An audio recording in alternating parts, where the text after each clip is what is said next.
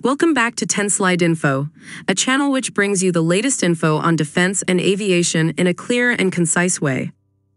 The Indian Navy, emboldened by the successful delivery of INS Vikrant, its first domestically built aircraft carrier, is setting sail on a new project. In collaboration with Cochin Shipyard Limited, the Indian government is moving forward with plans to construct a second indigenous aircraft carrier, with a crucial emphasis on maximizing domestic content.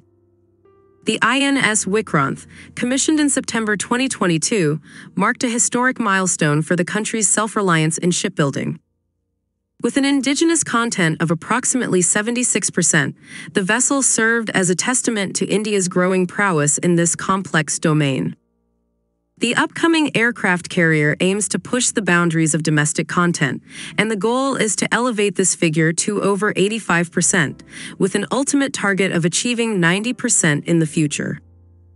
This increased focus on indigenization offers several advantages.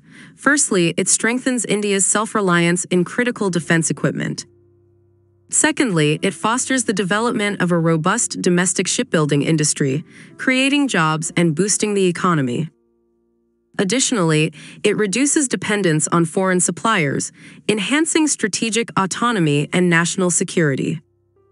While details are still under wraps, experts anticipate the new carrier will potentially incorporate advanced technologies, like an electromagnetic aircraft launch system for enhanced aircraft operations. The collaboration between the Indian Navy and Cochin Shipyard on this ambitious project signifies India's unwavering commitment to becoming a leading maritime power. The Indigenous Aircraft Carrier 2, with its focus on Indigenous content, promises to be a formidable addition to the Indian Navy's arsenal, solidifying the nation's position as a self reliant force on the global stage. Thanks for joining us today on 10 Slide Info. Don't forget to like this video and to subscribe to our channel for more informative content on both defense and aviation topics. Thank you.